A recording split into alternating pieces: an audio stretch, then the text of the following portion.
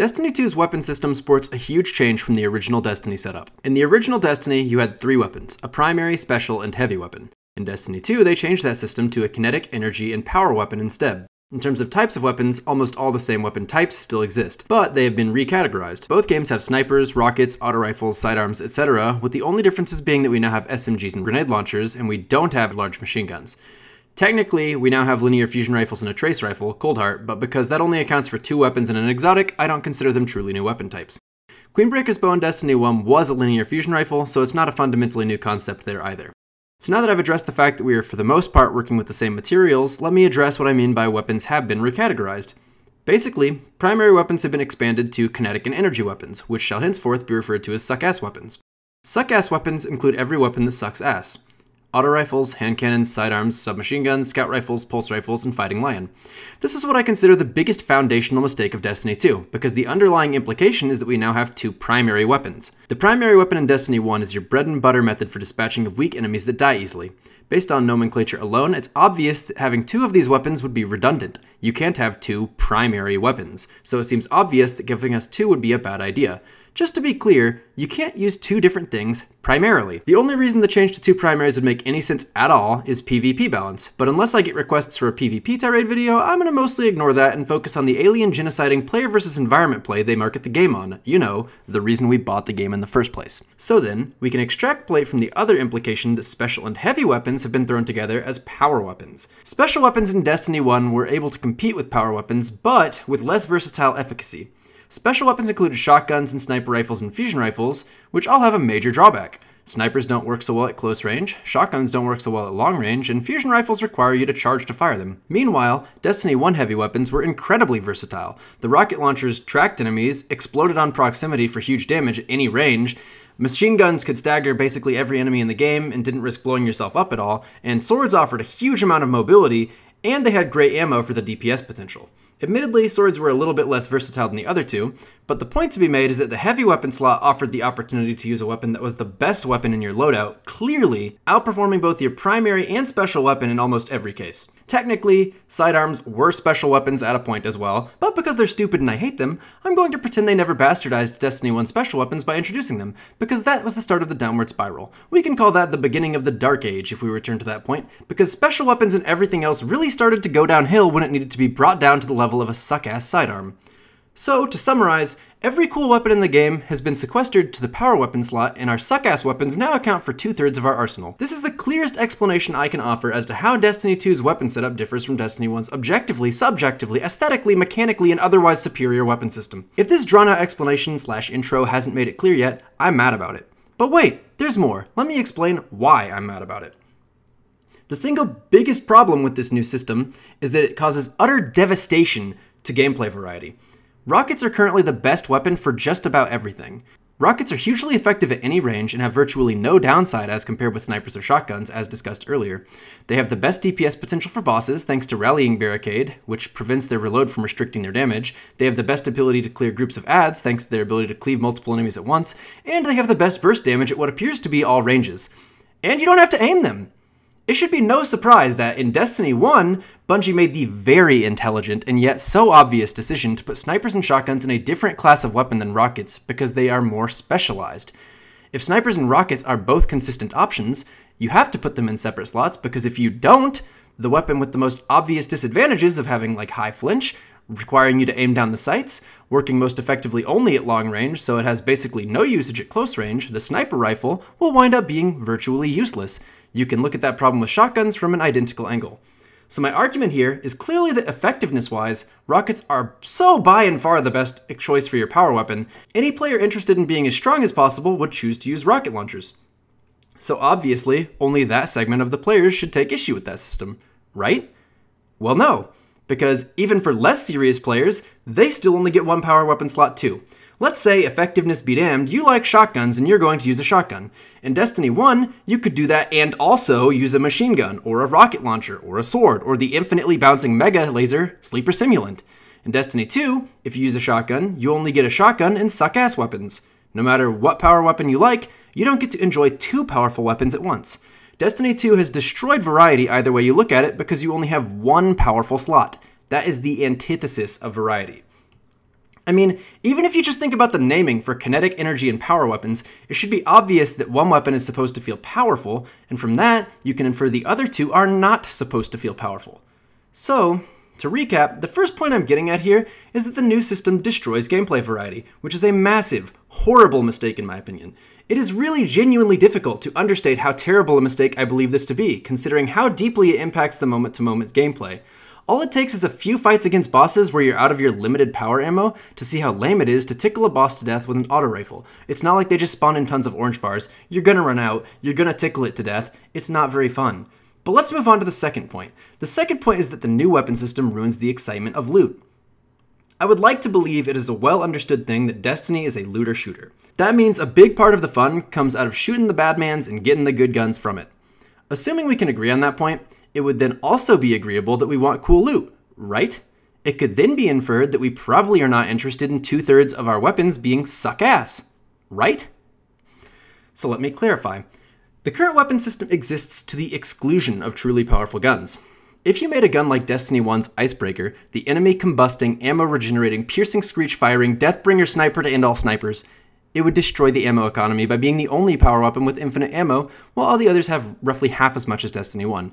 If you tried to balance it by taking away the infinite ammo perk, it would be worse than a rocket launcher and wouldn't get used at all, as demonstrated by Borealis, the Destiny 2 sniper that gets extra ammo despite being high impact archetype, and yet nobody talks about it because it's just not exciting or strong enough.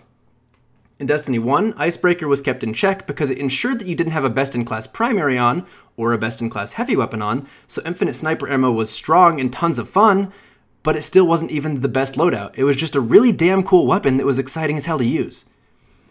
Or, if you made a rocket launcher like Gjallarhorn that did huge damage with tracking and proximity detonation, nobody would ever equip anything else. Gjallarhorn, its unbridled brilliance, destruction made manifest would be so all encompassing in Destiny 2 that sniper rifles would literally cease to exist. Literally, snuffed out by the shadow of Gjallarhorn's eclipse. I'm sure someone out there is thinking, but that's all we used in Destiny 1, Slayerage. And you're right, but it's an entirely new depth of problem in Destiny 2, because that would mean that the five unique classes of weapon would never see the light of day. We're talking about grenade launchers, swords, fusion rifles, shotguns, and sniper rifles. Six if you include linear fusions, and seven if you include all the other rocket launchers. You'd have Gjallarhorn in your suck-ass weapons and nothing else ever. Unlike Icebreaker, Gjallarhorn largely went unchecked in Destiny 1, and believe it or not, it became one of the most beloved weapons of all time and dominated social media the day Xur sold it. And I don't think any weapon in Destiny 2 would ever be so iconic. I don't think it's possible for a weapon in Destiny 2 to be that iconic. If you made a gun like The Last Word, the Wild West styled, fan firing, finger twirling, 200 RPM hip fire hand cannon, it would dominate a suck ass weapon slot 100% of the time by being too not suck ass. The simplest way to explain the issue we have still goes back to gameplay variety. In Destiny 1, occasionally you'd want a best of the best primary weapon or special weapon or heavy weapon because those weapons did different things. They all had situational use. Primary exotics were good for generating super energy, or restoring health, or beating people in PvP because they didn't have much of an ammo constraint. Special weapon exotics were good for situations where that special weapon was the best option, like sniping a boss from far away from DPS. Heavy exotics work best if you just wanted to hit as hard as possible with the most impact, or to just feel as powerful as you possibly could. In Destiny 2, because we have two weapon slots that overlap in gameplay, kinetic and energy weapons, or to be consistent with my verbiage, suckass 1 and suckass 2, a truly strong weapon for one would dwarf the other type entirely. Meanwhile, since there's only one power weapon, a truly strong weapon for that class of weapon would make every other interesting power weapon an alternative not worth considering. So, to bring this all back around, the new weapon system makes it really hard for great gear to exist, period, which makes the looting aspect of Destiny 2 that much less exciting. Every time someone wants the loot system to be fixed, part of me agrees, but another part of me is very well aware that it's a foundation problem. They couldn't just give us more armor and more guns and have it fix the loot system. We need loot that's worth wanting, and the near purely cosmetic armor combined with the necessarily middle of the road weapons makes that a real challenge. They can't make weapons that stand out because if they did, it would completely unbalance the way that they've set up the system that is based purely on balance. Another quick recap. Problem 1 is that gameplay variety is destroyed, and problem 2 is that valuable loot is basically impossible to make. So those two issues are major, critical aspects of the game that are greatly diminished or otherwise held back, totally needlessly, by some crazy commitment to make a mediocre at best PvP experience. That's the only way I can justify deliberately making us vastly less powerful in PvE. There are also other minor but still obvious asinine issues born out of this mistake. Uh, our kinetic and energy slots are made up of six different types of weapon, and we can equip two of those between the two slots. Meanwhile, our power weapon slot has seven different types of weapon, but only one slot. Not to mention the fact that one of those slots is almost sure to be taken up by the Red leech Legion comms or whatever that starts the Legend of Acrius quest. That is simply not enough space to have a variety of weapons in that one slot. Let alone the fact that exotics make you double up on weapon types since you might want Curtain Call and Wardcliff on your character at the same time. It's just oversaturated and needlessly slow, and it's annoying to me because I can't help but look at it and just think, why? Why would you do this? Another one of the minor but obnoxious issues is the fact that we no longer have heavy ammo synthesis, so for strike bosses or raid bosses, we have to play around making orange bar enemies drop ammo for us. Having guaranteed drops from those enemies is nice, but it also effectively discourages the use of power ammo on anything but those enemies, which takes away from the fun of liberally blowing enemies to Kingdom Come. It's not fun to have ammo management forced so strictly with no forgiveness to where you always have to think about it. And when you're down to only your suck ass weapons, it's annoying to barely scrape by collecting enough ammo for weapons that aren't even exciting to use in the first place. It's one thing to have a more significant ammo economy, which I, I, do believe that is good, but it feels like I'm running out of ammo more often because my guns aren't capable of dealing enough damage, which is just frustrating. And I know I said I wasn't going to talk about PvP much, and I'm not, but I would like to include somewhere in this video that the new power ammo system makes the game utterly boring to play and watch. When I have power ammo, I'm a god that destroys every guardian who can't fight back. And it's not exactly montage material when you see a guy shotgun down three helpless guardians who are using scout rifles and can't really do anything about it. I mean, if I don't have power ammo, I have to play safe to avoid it. And if I do have power ammo, I destroy people who are completely powerless to avoid it. Not to mention that rockets are so obviously the best choice for PvP due to how easy and risk-free they are to use. I mean, I have a million other complaints about PvP, but for this video in particular, the new weapon system encourages a very boring playstyle that makes it literally impossible for a good player to stand out for their skill. The best playstyle, thanks to this new weapon system, among other issues, does not have a very high skill ceiling, and that makes the game really unfun to watch, and for people who want to stand out for their skill, it makes it unfun to play. I may not be, you know, talking for everyone when I say that. I'm sure there are people that still think that it's skillful, but I think you're wrong. Sorry. I mean, honestly, even Halo let you use a sniper and a rocket launcher at the same time, and that game isn't even about a power fantasy. It just let you have two weapons, and the ammo constraint was what kept it in check. It's much, much more complex than that, and Halo pulls off the idea of balancing around power ammo much more effectively in the PvP. But all I'm getting at here is that Destiny 2 is literally holding us back, and that's the worst thing for a looter shooter that builds itself on a power fantasy to do. I do not understand why they would ever think that was a good idea. It's the same systemic issue we have with slower ability recharge rates, but that's for another time. So, all of this said, let me just quickly recap the main problem. Just in a quick little conclusion, TLDR you can link for your friends. So our gameplay diversity takes a huge hit thanks to the new system. We can't explore the full depth of the available weapons without crippling ourselves, which is lame. And even if you do experiment with non-meta weapons, you still only get to use fewer of them. The power fantasy has been worse than halved on account of the fact that we have half as many strong weapons, and the strong weapons are now relatively weaker than Destiny 1 strong weapons, and the ammo constraint is tighter on all of them due to trying to better manage their balance, and we have ability cooldowns that are longer, which just makes us feel weaker and less unique and less powerful. And on top of that, not only is the loot in Destiny 2 less exciting to get as a result of the change, but you can also see the way they have systemically forced themselves into a position where it's much more difficult to create strong loot. It would create huge, obvious balance problems if they did make strong loot that would result in all of us neglecting huge parts of the weapon pool.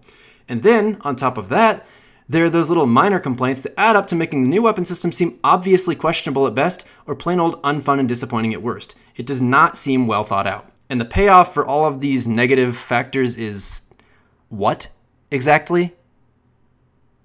The new weapon system sucks.